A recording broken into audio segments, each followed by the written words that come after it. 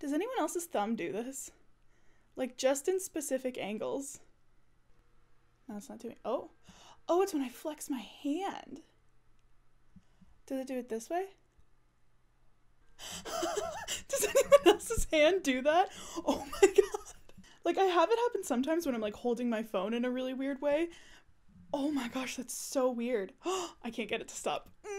Hey guys, it's Kismet. Welcome back to my channel. Today I wanted to touch on a topic that I feel like I don't see too much in the cosplay community, at least on YouTube. There are a lot of videos out there about how to get into cosplay, but I feel like not a whole lot talk about like the nitty gritty, the materials, the tools, that kind of thing. But also, I don't find a ton of content about like the middle ground of cosplay where you're not quite like god tier level, but you're like a step above beginner, you know? So today I wanted to go over a couple of beginner things in case you're new to the hobby, and I also wanted to cover some next level or level up uh, materials and tools. Things that, again, you're not quite like balls to the wall all in doing it full time, but you also have been doing it for a while and you're looking to upgrade some stuff. So without any further ado, let's start with the beginner things.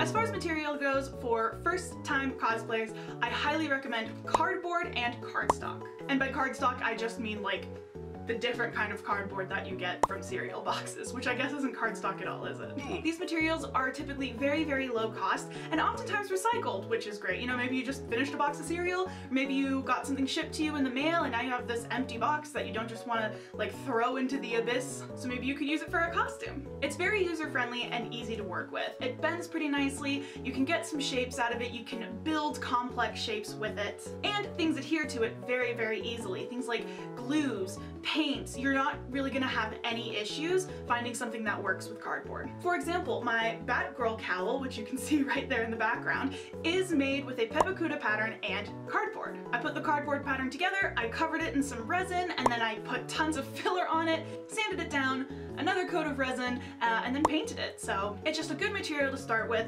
especially if you're working with a new method of building. You can kind of feel around and, and see how it works for you. The only problems are, like I said, it is pretty easy to bend. So this is the kind of thing that if you make a cosplay piece with it and you don't store it carefully, it can get beat up pretty quickly. And because it's essentially made of paper, it is not the most sturdy material. So like I just said, you can break it or bend it pretty easily. And also if it gets wet, it's probably not gonna hold up. Water soluble paints, it'll probably get fine, uh, or it'll probably be fine. But if you get rained on at a convention, you might have a hard time salvaging your piece. The next thing is to get hot glue and a hot glue gun.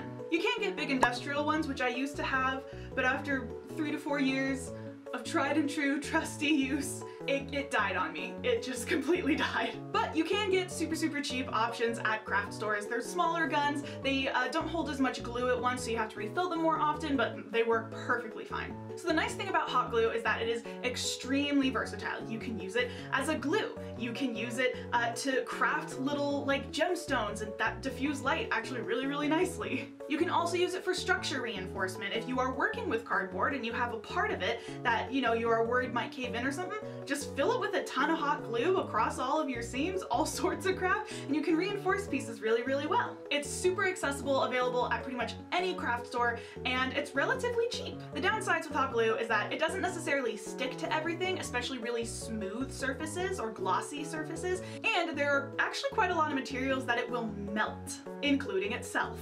this could also be a, a pro or a con, but because it doesn't stick perfectly to everything, it's kind of easy to rip off.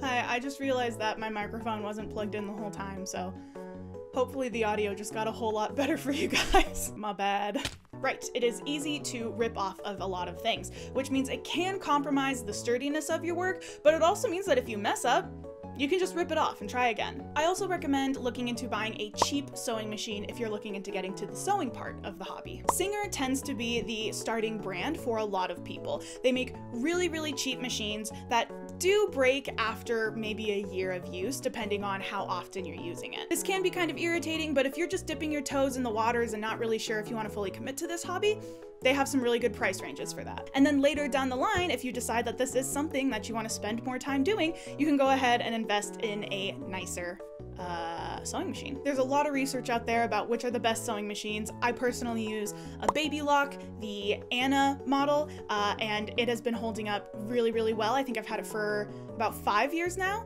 and I really haven't had any problems with it. And now that I think about it, I should probably send it in to get it cleaned I want it to continue working. okay, so right now I'm just going to rapid fire a couple of other uh, really basic beginner materials, just in case you're entirely new to arts and crafts in general. So here we go. Uh, paint brushes, including a chip brush, which is really nice for details, a good pair of fabric scissors, which pretty much means you buy like a nice-ish pair of scissors and you only use it for fabric, uh, some acrylic paint, cheap stuff will do perfectly fine, a couple of box cutters, especially if you're going to be working uh, with cardboard, because we have all been there when we try to cut something out of cardboard and it just, your hand is in the middle of it and it, the angles aren't just get a box cutter. It makes life easier. a ruler or a straight edge, uh, and some safety pins. Oh my god, the amount of times that I like put a costume on and pinned it in places to, you know, fit it better, and then tried to take it off and was stabbed all over the place. Safety pins. Oh my god, it's the kind of thing that you know, but you've never put thought to, you've never thought about, and then it just dawns on you one day and you're like, oh, I am that stupid. Phenomenal. and last but not least, I recommend that you do some serious planning when you're making a costume to help you uh, budget costs, to help you not forget any pieces, and if you would like to see what that is like, I have made a video about that on my channel about how I plan a costume. Perhaps it could help you on your planning process. Okay, now moving on to next level, or level up, or whatever, tools and materials for cosplay. So first off, I recommend that perhaps you graduate from cardboard and move on to foam and Worbla. These are much sturdier options that you can get really, really complex shapes with. They don't really care if they get wet, they don't really care if they get a little bit of uh, use and abuse while wearing them and, you know, going around photo shoots and slamming into walls because your shoulder pads are too big to fit through doors so you have to travel like this. they are more expensive materials though, and I would say they require uh, also a level up in your glue that you're using. Hot glue can be fine for a lot of these, but if you want something to really stand the tests of time, you're gonna need to upgrade your glue. So many people have talked about using foam and Worbla on YouTube, so I'm not gonna get any further into it. but speaking of glue, I do recommend that eventually you upgrade from hot glue to a contact cement. Specifically, I use the brand Barge. I think it is something that uh, a lot of people use, so it's tried and trusted. Tried and tested. True. tried once you use this, it is nearly permanent. Not a whole lot will rip it apart, and you know, especially once it sits for a couple of days or weeks, it is really, really stuck there which is also a downfall. It is nearly permanent, which means if you screw up, you're gonna have a lot harder of a time fixing a mistake. It also gives off some really, really nasty fumes. So if you do upgrade to this, I recommend working in a well-ventilated area and wearing a respirator and maybe even some goggles if you got some sensitive eyes. You open a can of that and you're like, oh yeah, this is toxic as shit. Next, I recommend looking into and investing in a Dremel or a heat tool. I personally have a Dremel, I have yet to use a heat tool, but these two things make it so much easier to add details into certain uh, props or costume bits. I used it for my horns uh, for Jester, and it really made them come to life. I was obsessed with how they came out. But again, the heat tool creates some really nasty fumes, and the Dremel does create a lot of foam dust, which is not good for your lungs. Go figure. So if you do use these, once again, I recommend working in a well-ventilated space and wearing a respirator mask and some goggles. Something else, if you're working with fabric often, I recommend buying some pinking shears. These basically are like a pair of scissors, but the blade is zigzag, so when you cut your fabric, you get a zigzag pattern on that edge. This helps a lot with fabrics that tend to fray. Speaking of fabric, the other thing that I recommend you getting if you're working with it a ton is a serging machine or a serger. It's like a sewing machine, but as you go, it cuts off the excess for you. And it also puts like a nice little end cap on your fabric so that, again, if it's something that frays, that won't happen anymore. It keeps your work looking very, very clean, very, very professional if you're gonna be doing contests or anything. And a lot of times it can actually help with the integrity of your product staying together longer. However, that being said, it is something that has a lot to maintain. You have to switch out the blades pretty often, you really need to keep it clean, and it's got a lot of thread that it uses, and threading it is just, it makes me feel like that geometry lady meme. It's got a very, very steep learning curve, and it's just another machine that you have to store somewhere within your space. And speaking of machinery, this is the last level up that I'm going to talk about, and it is something that I do think is kind of closer to like being a pro or whatever, and that is just machinery in general. Things like uh, Cricut cutters and things like 3D printers. These kinds of machines really, really, really expand not only your skill set, but also your options for different things that you can make, different shapes, uh, different, you know, complex designs, and it also changes up your workload. You can load a uh, CAD file into your 3D printer, leave it for a couple of hours while you go work on something else. But it does go without saying that these are very, very expensive upgrades. Not only in the base machine itself, but you do have to continually buy materials such as vinyl, such as resin, such as filament in order to continuously use these machines. Okay, that was kind of a long one, wasn't it?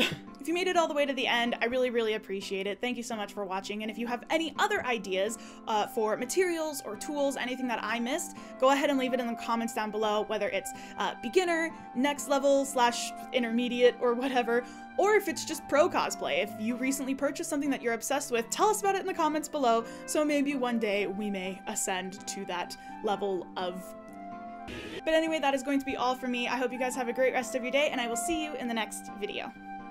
Bye!